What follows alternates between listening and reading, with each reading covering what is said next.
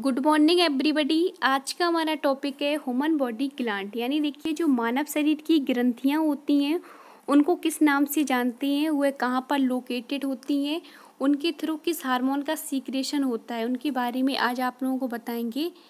तो देखिए, ये इम्पोर्टेंट टॉपिक है तो उसको स्टार्ट करते हैं। सबसे पहली ग्लैंड है, देखिए थैलीमस ग्लैंड थैलीमस ग्लैंड कहाँ प्रेजेंट होती है? ये मनुष्य के ब्रेन में प्रेजेंट होती है। ब्रेन के तीन पार्ट होते हैं। एक तो होता है अग्र मस्तिष्क, दूसरा होता है मध्य मस्तिष्क और तीसरा होता है पश्चिम मस्तिष्क, यानी पोस्टीरियर पार्ट तो देखिए, ये मनुष्य के ब्रेन में प्रेजेंट होती है। आगे आप लोग बताएँगे चित्र के थ्रू किस तरीके से प्रेजेंट होती है मस्तिष्क में। नेक्स्ट है हाइपोथैलेमस ग्लैंड जो कि मोस्ट इंपॉर्टेंट है, बहुत बार ये पेपर में पूछी जाती है। तो हाइपोथैलेमस जो ग्लैंड होती है, ये भी मनुष्य के ब्रेन में प्रेजेंट होती है। और देखिए इसे क्या क्या कहा जाता है? इसे कहा जाता है सुपर मास्टर ग्लैंड। काफ़ी बार पूछते हैं सुपर मास्टर ग्लैंड किसे कहते हैं? तो हाइपोथैलेमस को कहा जाता है और देखिए इसे क्या कहा जाता है? इसे कहा जाता है तापमापी ग्लैंड। काफ़ी बार पूछते हैं, तापमापी ग्लैंड किसे कहते हैं? तो हाइपोथैलेमस ग्लैंड को कहा जाता है। ये कहाँ लोकेटेड होती है? ये ये मतलब मस्तिष्क में होती है। ये किस पार्ट में होती है? अग्र मस्तिष्क में। प्रेजेंट होती है हाइपोथैलेमस ग्लैंड नेक्स्ट है पिनिहल बॉडी ग्लैंड तो देखिए जो पिनिहल बॉडी ग्लैंड है, इसे किस नाम से और जानते हैं? इसे बायोलॉजिकल इसे बायोलॉजिकल क्लॉक ग्लैंड के नाम से भी जानते हैं। इसे हिंदी में कहा जाता है जैविक घड़ी। जैविक घड़ी ग्लैंड के नाम से भी जाना जाता है। ये इंपॉर्टेंट है, ये पूछा गया था। और ये एक प्रकार से स्मॉल एंडोक्राइन ग्लैंड होती है। यानी सबसे छोटी अंतःस्रावी मतलब ग्रंथि होती है पिनिहल बॉडी ग्लैंड। तो देखिए, जो पिनिहल बॉडी ग्लैंड होती है, ये इससे एक हार्मोन सीक्रेटेड होता है, जिसे कहते हैं मिलेटोनिन हार्मोन। तो इसे एक प्रकार से डार्कनेस हार्मोन कहती हैं, या एक प्रकार से बैकअप हार्मोन भी कह सकते हो, या नाइट हार्मोन भी इसे कहती हैं मिलेटोनिन हार्मोन को। आगे आप लोगों को पूरी बताइए ग्लैंड के बारे में, विथ फिगर की। अगर आप लोगों ने वीडियो नहीं देखी है तो आप लोगों को इसका लिंक मिल जाएगा डिस्क्रिप्शन बॉक्स में, वहाँ से चेक कीजिए। तो देखिए, ये कहाँ पर लोकेटेड होती है? ये मनुष्य के ब्रेन में लोकेटेड होती है। इंपॉर्टेंट है। चौथी है पिट्यूटरी ग्लैंड जो कि मोस्ट इंपॉर्टेंट है। आगे आप लोगों को विथ फिगर की बता चुके हैं। तो देखिए, जो पिट्यूटरी ग्लैंड होती है, वो एक प्रकार से पी लाइक स्ट्रक्चर होती है। मटर के दाने के समान स्ट्रक्चर होती है, ये कहाँ स्थित होती है? ये ब्रेन के अधर सतह पर होती है, नीचे की तरफ़ ये स्थित होती है पिट्यूटरी ग्लैंड इसे क्या कहा जाता है? इसे मास्टर ग्लैंड के नाम से जानते हैं। काफ़ी बार पूछते हैं मास्टर ग्लैंड किसे कहते हैं? तो पिट्यूटरी ग्लैंड को कहा जाता है। ये भी एक प्रकार से स्मॉल एंडोक्राइन ग्लैंड होती है। सबसे छोटी होती है पिनहल बॉडी ग्लैंड, उससे थोड़ी बड़ी होती है pituitary gland. Small endocrine gland भी इसे कहते हैं पिट्यूटरी ग्लैंड को, और इससे कम से कम ग्यारह हार्मोन का सीक्रेशन होता है।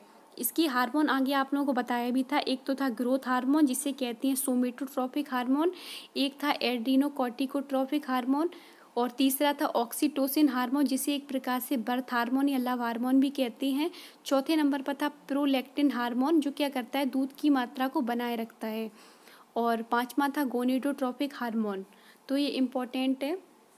नेक्स्ट है, देखिए नेक्स्ट है थाइमस ग्लैंड ये भी इम्पोर्टेंट है। थाइमस ग्लैंड कहाँ प्रेजेंट होती है? ये एक प्रकार से प्रेजेंट होती है, चेस्ट में प्रेजेंट होती है, छाती में। या कहा जाए गर्दन और छाती के बीच में मिडिल पार्ट में ये प्रेजेंट होती है। तो देखिए, जो थाइमस ग्लैंड होती है, इससे एक हार्मोन सीक्रेटेड होता है, जिसे कहते हैं थाइमोसिन हार्मोन थाइमोसिन हार्मोन मतलब इससे सीक्रेटेड होता है। ये क्या करता है? ये जो टी लिम्पोसाइट की कोशिकाएँ होती हैं ये उनको क्या करता है? मैच्योर कर देता है। एक तो होती है टी लिम्पोसाइड एक होती है बी लिम्पोसाइड ये जो कोशिकाएँ होती हैं, ये क्या कर देता है? उनको मैच्योर करने में हेल्प करता है। तो देखिए टी लिम्पोसाइड का निर्माण कहाँ होता है? ये काफ़ी बार पूछते हैं। थाइमस में इसका फॉर्मेशन होता है। बी लिम्पोसाइड का किसमें होता है? बॉन मैरो में होता है। बॉन मैरो को हिंदी में कहा जाता है अस्थि मज्जा इसका फॉर्मेशन होता है बी लिम्पोसाइड कोशिका का। तो देखिए थाइमस ग्लैंड का एक इंपॉर्टेंट पॉइंट है।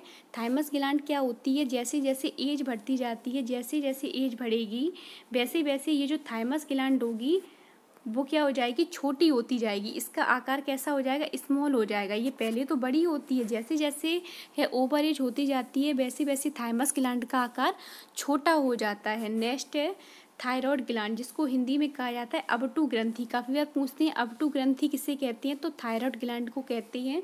थायराइड ग्लैंड ये इंपॉर्टेंट है, बहुत पूछते हैं।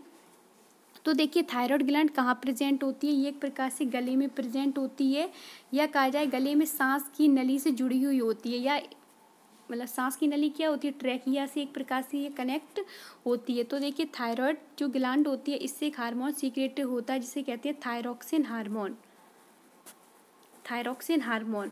तो इसमें क्या होता है? इसमें देखिए, काफ़ी बार पूछते हैं, आयोडीन की कमी से कौन सा रोग हो जाता है?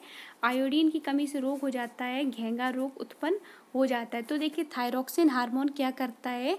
ये एक प्रकार से रेगुलेशन में वर्क करता है, रेगुलेट करता है। रेगुलेट करता है। यानी जो भी मेटाबॉलिक रिएक्शन होती हैं मेटाबॉलिक रिएक्शन क्या होती हैं? जैसे हुआ रेस्पायरेशन और क्या हुआ एक्सक्रीशन रिप्रोडक्शन और मतलब डाइजेशन ये क्या करता है? जो मेटाबॉलिक रिएक्शन होती हैं, ये उनको रेगुलेट कर देता है थायरॉक्सिन हार्मोन इंपॉर्टेंट हार्मोन है। नेक्स्ट है पैराथायरॉयड ग्लैंड, जिसे हिंदी में कहा जाता है परा अबटू ग्लैंड। तो ये कहाँ प्रेजेंट होती है? ये थायरॉयड ग्लैंड के ठीक नीचे स्थित होती है। जो देखिए थायरॉयड ग्लैंड होती है, वो एच आकार की होती है और कैसी होती है? एक प्रकार से बटरफ्लाई लाइक होती है।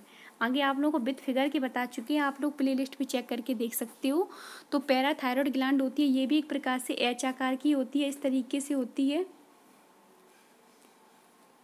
इस तरीके से होती है एच आकार की। और कहाँ प्रेजेंट होती है? थायराइड ग्लैंड के नीचे स्थित होती है और जो मतलब पैराथायरॉयड ग्लैंड होती है, इससे एक हार्मोन सीक्रेटेड होता है, जिसे कहते हैं पैराथायरोक्सिन हार्मोन और एक होता है कैल्सीटोनिन हार्मोन एक होता है मिनरेलो कॉर्टिकोट्रॉपिक हार्मोन जो क्या करता है? जो मिनरल होते हैं, ये उनको रेगुलेट कर देता है।